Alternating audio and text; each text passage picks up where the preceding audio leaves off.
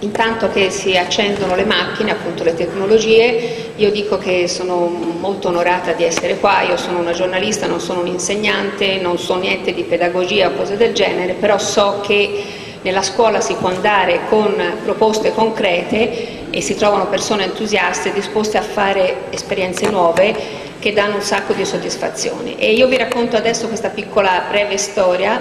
di un'esperienza uh, che noi abbiamo attivato da, da, tre anni per volontà della Regione Toscana e si chiama Troll all'italiana, eh, non all'inglese,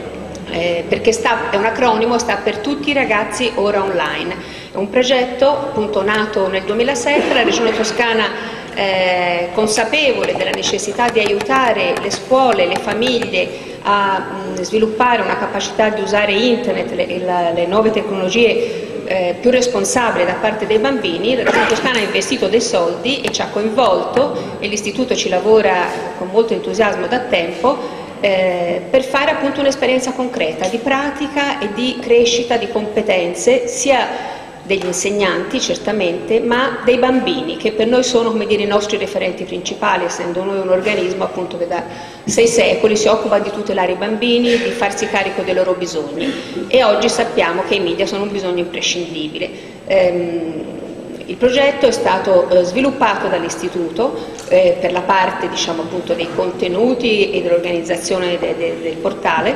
eh, ci ha poi lavorato e ci lavora la Fondazione Sistema Toscana per la parte software e lo studio Chilometro Zero per la parte grafica e creatività web. Ehm, allora, volevo innanzitutto far parlare un bambino per dirvi che il lavoro che stiamo facendo a due anni scolastici in pratica, 2008, 2009, 2009, 2010, sta dando dei risultati. Questo è un bambino che ovviamente si presenta con un nome, eh, un nickname, perché la regola fondamentale è di non dare la propria identità, di non essere in qualche modo appunto raggiungibili da malintenzionati della rete,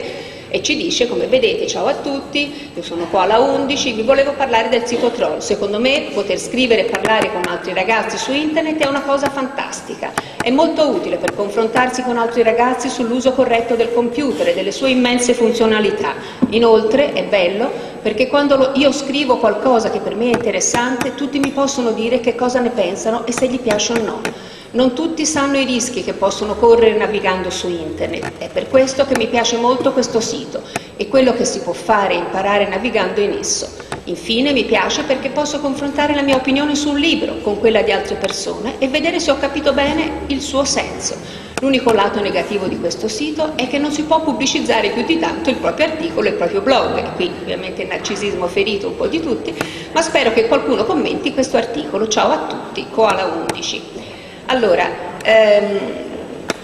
i, tanti ragazzi come lui eh, sono quasi, mh, sono oltre 4.000 i, i, ragazzi blogger attivi su questo portale, va bene, che appunto ormai è una community online di bambini che condividono esperienze scolastiche quindi di apprendimento, di conoscenza, ma anche esperienze personali, quindi è proprio veramente un, un, un social network di bambini. Allora, tanti come Kuala 11 ci, ne parlano con entusiasmo, raccontano che è una bella storia, che si divertono a fare scuola usando Troll con i metodi in qualche modo che Troll introduce, propone, gli insegnanti fanno propri e ripropongono, poi adattano alla loro specifica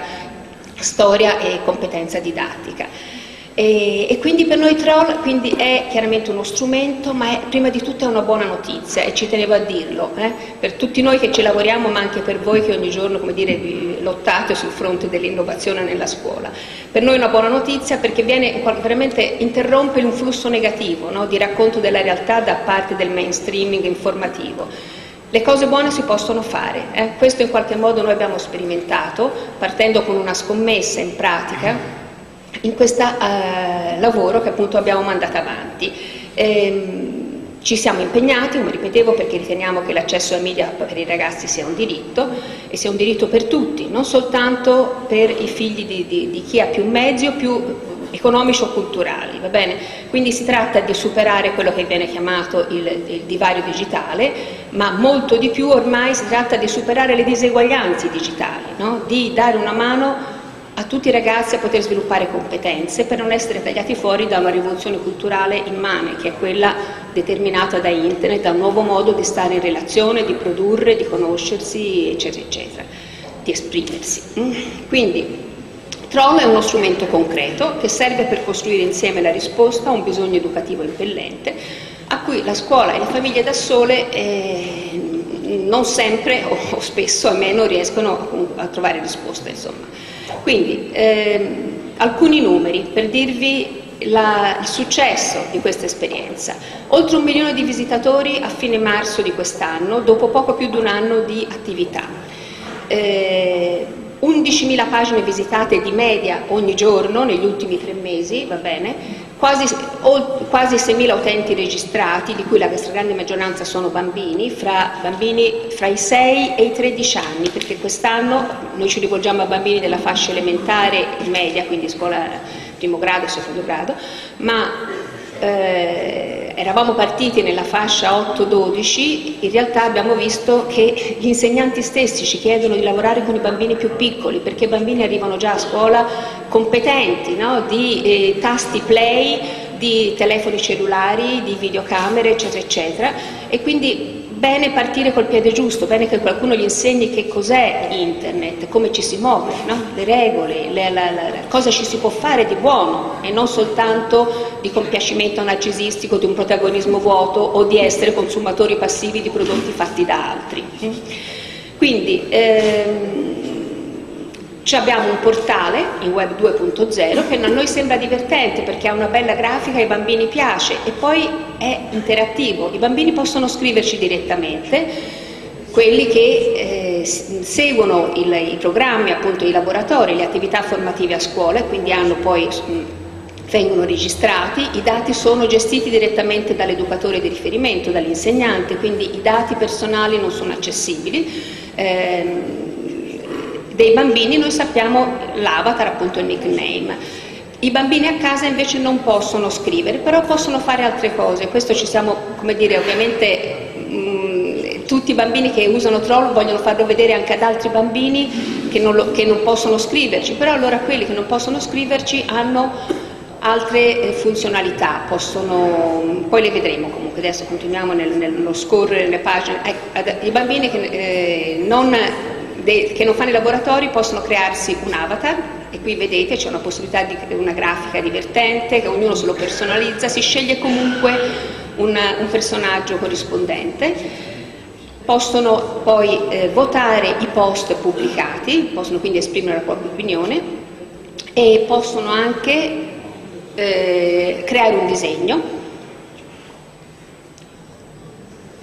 e devo dire che nel giro di pochi, eh, eh, sarà una settimana, circa poco più, due settimane che abbiamo messo in linea questa possibilità di creare disegni e i bambini si sono scatenati, sia quelli dei, che fanno laboratori con noi ma anche altri facendo cose molto divertenti. Sul portale a rotazione si vedono dire, le creazioni dei bambini con questa grafica digitale. Eh, oltre a fare la, la, la, i disegni, i bambini possono eh, utilizzare il portale, ecco qui chiaramente si riprendono poi di una modalità di lavoro della lavagna digitale,